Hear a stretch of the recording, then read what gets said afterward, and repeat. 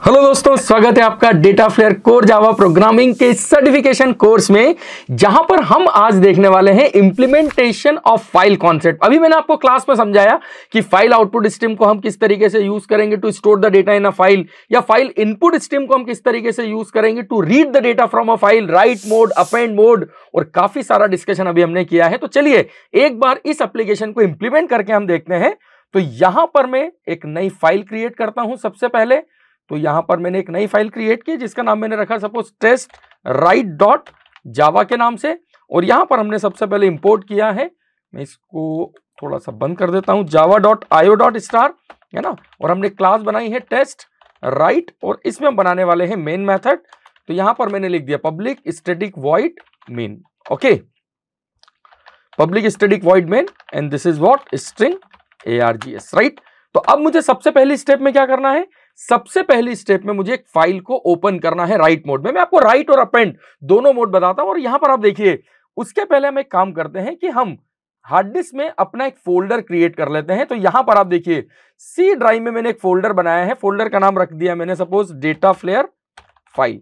Okay तो okay, DataFlair file is already exist तो मैं यहाँ पर इस फोल्डर को कोई नया नाम दे देता हूँ। मान लीजिए मैंने इसका नाम दे दिया है डेटा फ्लेयर ठीक है डेटा फ्लेयर जावा ठीक है, मैंने इसका नाम दे दिया डेटा फ्लेयर जावा के नाम से ओके तो यहाँ पर मैं अब अपनी फ़ाइल क्रिएट करूँगा which the folder name is DataFlair Java okay तो अब मुझे क्या करना है यहाँ पे, मैं इसको जस्ट कॉपी कर लेता हूँ ताकि हम एज इट इज़ यूज़ कर सकें। तो अब देखिए, सबसे पहली स्टेप में मुझे फ़ाइल आउटपुट स्ट्रीम क्लास का ऑब्जेक्ट बनाना है। तो यहाँ पर हमने फ़ाइल आउटपुट स्ट्रीम क्लास का ऑब्जेक्ट बनाया file output stream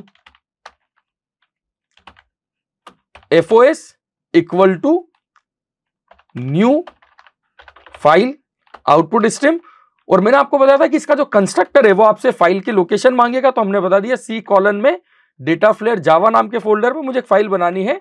In the name of file is student dot Java के नाम से राइट तो यहाँ पर आप देखिए, सबसे पहले स्टेप में हमने हमारा file object file file output stream class के ऑब्जेक्ट को रेडी कर लिया और हमने लोकेशन बता दी है कि मुझे सी ड्राइव के डेटा फ्लेयर जावा नाम के फोल्डर में स्टूडेंट जावा नाम की फ़ाइल को क्रिएट करना है राइट तो चलिए एक बार पहले इसको रन करके हम देख लेते हैं।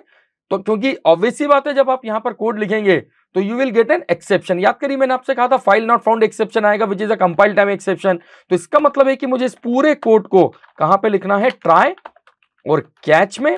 तो यहाँ पर हमने कैच में लिख दिया एक्सेप्शन ई और वो इसलिए क्योंकि exception is a parent class of all the exception classes तो यहाँ पर हम सिंपली इसको लिख देते हैं प्रिंट एल एन ई और आप देखिए, अब यदि मैं इसको रन करता हूँ तो there is no error in the code कोई एरर नहीं है। Just moment class not found please define the main method okay just moment हमने टेस्ट राइट डॉट जावा के नाम से पब्लिक स्टेटिक वॉइड मेन बिल्कुल सही लिखा है। String A R G S में हमने ब्रैकेट नहीं लगाए, क्योंकि वो अरे है so we need to declare it with an array okay तो आप देखिए there is no error in this code और यहाँ पर आप देखिए, मैं आपको एक चीज़ और बताता हूँ।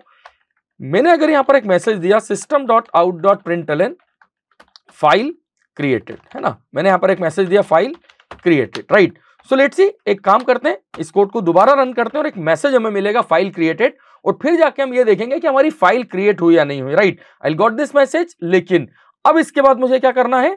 यहाँ पर सी ड्राइव में जाके देखिए देखिए आपकी फ़ाइल क्रिएट हुई है। ओके स्टूडेंट डॉट जावा के नाम से, गलती से हमने इसको डॉट जावा फ़ाइल बना दिया है।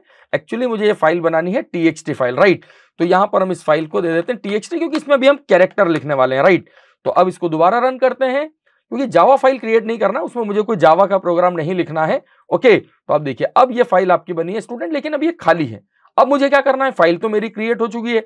अब मुझे इसमें एक सिंगल कैरेक्टर राइट करना है। तो अब देखिए, यहाँ पर मैंने एक कैरेक्टर वेरिएबल लिया और इसको मैंने दे दिया ए वैल्यू ना how to write this data in a file तो मैंने आपको बताया था there is a method call write method ये राइट मेथड आपसे डेटा मांगेगी बाइट फॉर्मेट में ठीक है? सॉरी राइट मेथड आपसे डेटा मांगेगी ओके okay, तो यहाँ पर आपने क्या लिख दिया? सी एच लेकिन अब आप देखिए यहाँ पर अब आप कॉन्सेप्ट समझिए कि यदि मैं इस एप्लीकेशन को रन करता हूँ तो फ़ाइल में बाकायदा कैरेक्टर राइट होना चाहिए है ना? फ़ाइल क्रिएटेड का मैसेज आया मेरा और अब मैं अगर यहाँ पर इसको देखता हूँ तो अब देखिए what is the character A ठीक है मतलब फ़ाइल में आपका कैरेक्टर राइट हुआ है, लेकिन यदि मान लीजिए मैं इस कैरेक्टर को कर देता हूँ बी तो मुझे ए बी दोनों मिलना चाहिए। चलिए एक बार रन करके हम देखते हैं और फिर दोबारा फ़ाइल में जाके हम देखेंगे कि कैरेक्टर ए और बी दोनों फ़ाइल में एग्जिस्ट कर रहे हैं या नहीं कर रहे हैं। राइट चलिए, ये देखिए आप।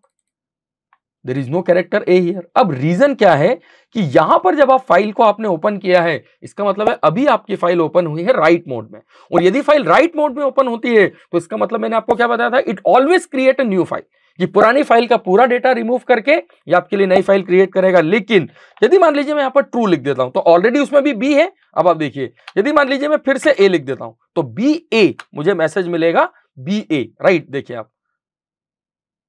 तो अब अगर इस फ़ाइल में आप देखेंगे तो यहाँ पर मुझे बी भी मिल रहा है और ए भी मिल रहा है। और अब इसके बाद आप जो भी कैरेक्टर इसमें टाइप करेंगे, वहाँ पर आपको वो कैरेक्टर मिलेंगे। तो this is how to write a file लेकिन अब आप देखिए, जैसा मैंने आपको बताया था कि फ़ाइल में डेटा राइट करने के बाद मुझे उस फ़ाइल को कंपलसरी क्लोज भी करना होता है। तो यहाँ पर अब आप देखिए कंपलसरी क्लोजिंग के लिए अगर मैं फाइनली ब्लॉक को लिखता हूँ, और यहाँ पर अगर मैं लिखता हूँ एफओएस डॉट क्लोज तो ऑब्वियसली बात है there is an error in this code वो इसलिए क्योंकि फ़ाइल आउटपुट स्ट्रीम क्लास का ऑब्जेक्ट हमने डिक्लेयर किया है ट्राई ब्लॉक में।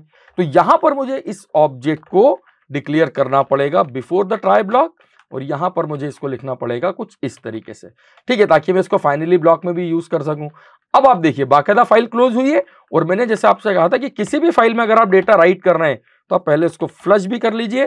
तो आपने फ़ाइल को फ्लश भी कर लिया डेटा राइट भी कर दिया और यहाँ पर मैंने कुछ और कैरेक्टर भी दे दिया। सपोज़ मैंने यहाँ पर दे दिया एनी कैरेक्टर सपोज़ टी ठीक है? तो आप देखिए, अब मैं अगर इसको राइट रन करता हूँ तो देर इज़ नो एरर क्योंकि सब कुछ हमने प्रॉपर लिखा है आई थिंक एक minute F S dot close unreported exception IO exception must be caught तो यहाँ पर एक्चुअली मुझे क्लोज मैथड के लिए ये जो एक्सेप्शन है, इसको ट्राई कैच की बजाय ट्राई फाइनली में लिखना पड़ेगा और यहाँ पर मुझे इसको थ्रो करना पड़ेगा थ्रो एक्सेप्शन ठीक है throw exception not it's a throw it's a throws ठीक है throws exception and now let see अब मैं अगर इसको रन करता हूँ तो there is no error now I get a message file created और अब अगर मान लीजिए मैं फ़ाइल में जाके देखता हूँ तो बाकायदा देखिए बी भी है ए भी है टी भी है, और फ़ाइल बाकायदा हमारी क्लोज भी हुई है। तो ये भी हमने देखा फ़ाइल में डेटा राइट कैसे किया जाता है? लेकिन अब मुझे क्या करना है? अब मुझे इसी फ़ाइल से डेटा रीड भी करना है तो आप देखिए मैं इस कोड को कर देता हूँ, कमेंट, और अब हम लिखते हैं फ़ाइल में डेटा रीड कैसे करना है। तो अगर आपको फ़ाइल से डेटा रीड करना है तो now we are going to declare object of file input stream class तो जैसे यहाँ पर मैं इसको हटाता ही नहीं हूँ, मैं इसको कमेंट कर देता हूँ। तो मैंने अगला ऑब्जेक्ट डिक्लेयर किया फ़ाइल इनपुट है ना file input stream file input stream F I S जिसकी इनिशियल वैल्यू हमने रखी है। नल ओके और अब इसको भी हम डिफाइन करते हैं। तो यहाँ पर भी हमने क्या लिखा? File sorry F I S equal to new और this is what file input stream F I S equal to new file input stream और लोकेशन हमने उसी फ़ाइल की दी है। लेकिन यहाँ पर अब हम ट्रू नहीं लिखेंगे, क्योंकि फ़ाइल जब रीड मोड में ओपन होती है तो फिर हमें अपेंड बताने की ज़रूरत नहीं है। यहाँ ट्रू का मतलब है अपेंड मोड ओके क्योंकि हमने राइट के लिए यूज़ किया था, लेकिन अब मेरी फ़ाइल बाकायदा यहाँ पे रीड मोड में ओपन होगी। और अब मुझे क्या करना है, इस फ़ाइल से एक सिंगल कैरेक्टर रीड करना है। तो यहाँ पर आप देखिए, अगर मैं लिखता हूँ C H equal to F I S dot read तो रीड मेथड आपको जो डेटा रीड करके देगा, वो बाइट फॉर्मेट में देगा। और आपका कैरेक्टर जो है, वो टू बाइट ऑफ़ डेटा है। तो नो डाउट यहाँ पर मुझे टाइप कास्टिंग करनी पड़ेगी, लेकिन उसके पहले मैं आपको इसको रन करके भी बताता हूँ। ठीक है? और फिर फाइनली यहाँ पर भी हम फ़ाइल को क्लोज कर देंगे। तो मैं एफ़ की जगह यहाँ पर लिख देता हूँ। Close this is what F I S dot close right तो अब अगर इस एप्लीकेशन को हम रन करते हैं लेट सी एरर आएगी नो डाउट एरर आएगी, ये देखिए आप. इनकॉम्पिटेबल टाइप तो यहाँ पर मुझे क्या करना है? एक्चुअली इसको टाइप कास्ट करना है कैरेक्टर में तो मुझे इसको क्या लिखना पड़ेगा? Char and then F I S dot read okay और अब अगर मैं इसको रन करता हूँ तो फ़ाइल का जो पहला कैरेक्टर होगा, वो यहाँ पर मुझे मिल जाएगा, जो कि मैंने प्रिंट नहीं किया है रीड तो किया है, लेकिन यहाँ पर मुझे इसको प्रिंट भी करना पड़ेगा system dot out dot print ठीक है, या प्रिंट मैथड चलिए सी एच ओके और अब मैं इसको रन करता हूँ, आप देखिए। तो यहाँ पर अब मुझे फ़ाइल में क्या मिल गया? बी लेकिन अगर मान लीजिए फ़ाइल में मैं कुछ और कैरेक्टर भी लिख देता हूँ, चलिए मैं यहाँ पर ये लिख देता हूँ। ठीक है B A T DataFlair free course है ना? ये मेरी फ़ाइल में डेटा है। अब मुझे क्या करना है? अब मुझे इस फ़ाइल के हर कैरेक्टर को रीड करना है। I want to read all the character from file right लेकिन यहाँ पर मुझे क्या हो रहा है? एक बार में एक ही कैरेक्टर रीड होकर मिल रहा है। तो यदि आप हर कैरेक्टर को रीड करना चाहते हैं तो फ़ाइल की एंडिंग जावा में होती है माइनस वन से। तो यहाँ पर मुझे क्या करना पड़ेगा? एक लूप लगाना पड़ेगा। वाइल एक वेरिएबल हम डिक्लेयर करते हैं इंटीजर एन ठीक है? और यहाँ पर हम लिखेंगे N equal to F I S dot read ठीक है? और ये पूरा कोड आपको चेक लगाना पड़ेगा। माइनस वन के साथ तो यहाँ पर हमने लिख दिया not equal to minus one. Okay, और अब मुझे यहाँ पर रीड के बजाय कैरेक्टर को एन को टाइप कास्ट करना है और उसको प्रिंट करना है। तो आप देखिए फ़ाइल के हर कैरेक्टर को अगर आपको रीड करना है तो यहाँ पर आपको फ़ाइल में डेटा रीड करना है कब तक, जब तक माइनस वन नहीं आ जाता है, क्योंकि माइनस वन जावा में फ़ाइल की एंडिंग को इंडिकेट करता है। तो अब एक एक करके ये हर कैरेक्टर को रीड करेगा और प्रिंट करेगा। लेट से देखिए आप, अगर मैं इसको रन करता हूँ तो बाकायदा मुझे आउटपुट मिलेगा बैड भी और डेटा फ्लेयर फ्री कोर्स भी। That is what how to read multiple character from a file कि एक फ़ाइल से आप मल्टीपल कैरेक्टर कैसे रीड करेंगे? गॉट माई पॉइंट तो एक फ़ाइल में डेटा राइट कैसे करना है? फ़ाइल से डेटा रीड कैसे करना है?